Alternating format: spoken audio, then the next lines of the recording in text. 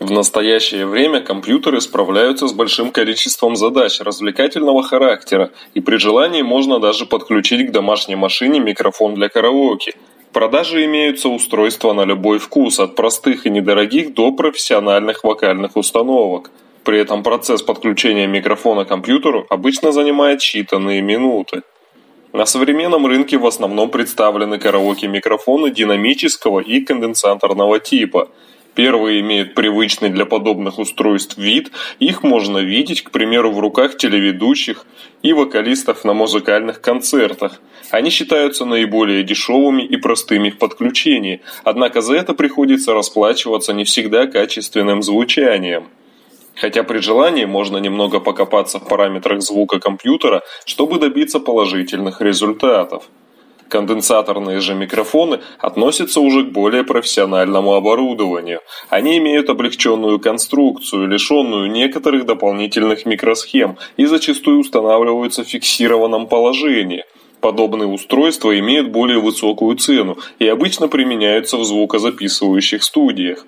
Кроме того, их предпочитают использовать профессиональные видеоблогеры. Таким образом, важно определиться, для каких целей будет использоваться микрофон – обычного любительского исполнения караоке, либо записи песен и клипов в домашней или студийной обстановке. Современные компьютеры и ноутбуки имеют специальные разъемы для подключения звуковых устройств. Разъемы для подключения колонок или наушников обычно выполняются в зеленом или белом цвете, а для микрофона розоватом либо красном. Нередко возле них размещаются соответствующие значки и надписи.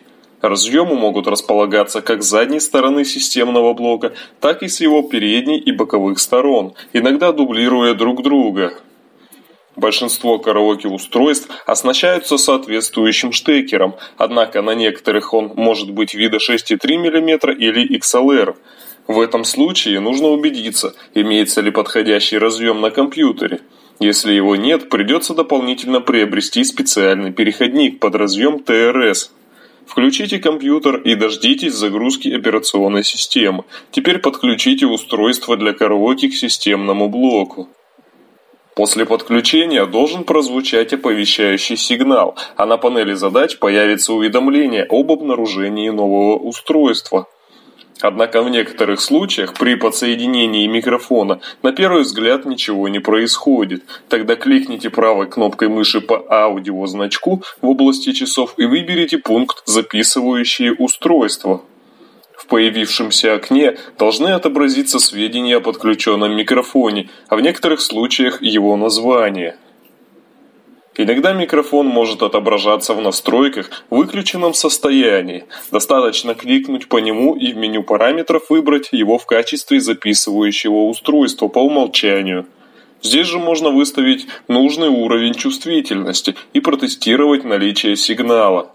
Если микрофон не определяется системой, либо не работает должным образом, обновите звуковой драйвер на компьютере или загрузите специальные драйвера или программы для приобретенного устройства на сайте производителя.